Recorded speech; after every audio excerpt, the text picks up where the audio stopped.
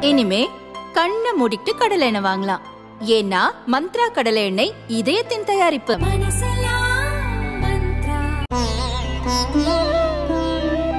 தினம்தோறும் விளக்கேற்ற நல்ல எண்ணெய் இதயம் நல்லெண்ணெய். ஈரான் அசர்பைஜான் எல்லையில் உள்ள கிஸ்கலான் அணை திறப்பு விழா நேற்று நடந்தது. ஈரான் அதிபர் இப்ராஹிம் ரைசி வெளியுறவு அமைச்சர் ஹொசைன் அசர்பைஜான் அதிபர் இல்காம் அலியை பங்கேற்றனர்.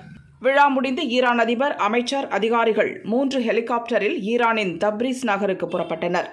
ஜோல்ஃபா என்ற இடத்தில் மலைப்பகுதியை கடந்தபோது மோசமான வானிலை நிலவியது. கடுமையான பனிமூட்டம் இருந்தது.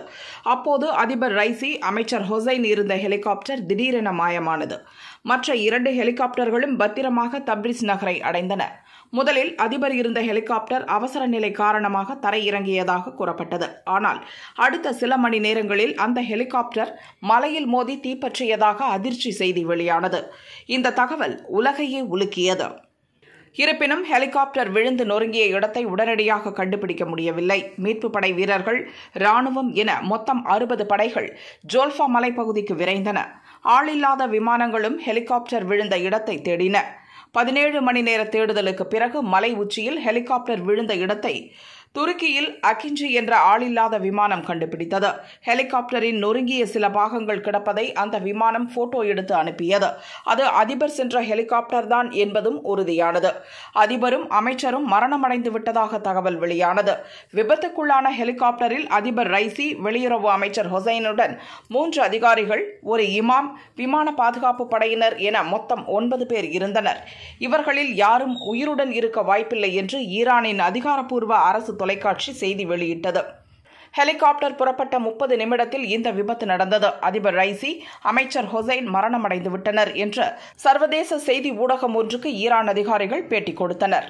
ஈரான் அதிபரும் வெளியுறவு அமைச்சரும் மரணமடைந்த செய்தி பெரும் சோகத்தை ஏற்படுத்தியுள்ளது. பிரதமர் மோடி உட்பட உலக தலைவர்கள் கவலை தெரிவித்தனர். இதற்கிடையே ஈரானின் மீட்பு பணிக்கு அண்டை நாடுகள் ஐரோப்பிய நாடுகள் ரஷ்யா உதவுவதாக அறிவித்துள்ளன. குறிப்பாக சிறப்பு விமானம் இரண்டு ஹெலிகாப்டர்கள் மற்றும் ஐம்பது தொழில்முறை மலையேற்ற வீரர்களை சம்பவ இடத்துக்கு அனுப்பி வைப்பதாக ரஷ்யா அறிவித்துள்ளது. ஈரான் அதிபர் மரணமடைந்து விட்டதாக செய்திகள் வெளியானாலும் அதை முறைப்படி ஈரான் நாட்டு நிர்வாகம் இன்னும் அறிவிக்கவில்லை.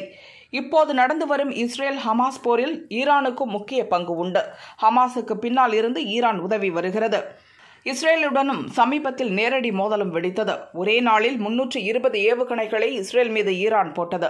இருப்பினும் அமெரிக்கா பிரிட்டன் உதவியுடன் ஈரானின் தாக்குதலை இஸ்ரேல் முறியடித்துவிட்டது. இப்படி இஸ்ரேலுடன் மோதல் அபாயம் நீடிக்கும் முக்கியமான காலகட்டத்தில்தான் ஈரான் அதிபர் ரைசி மரணம் நடந்துள்ளது.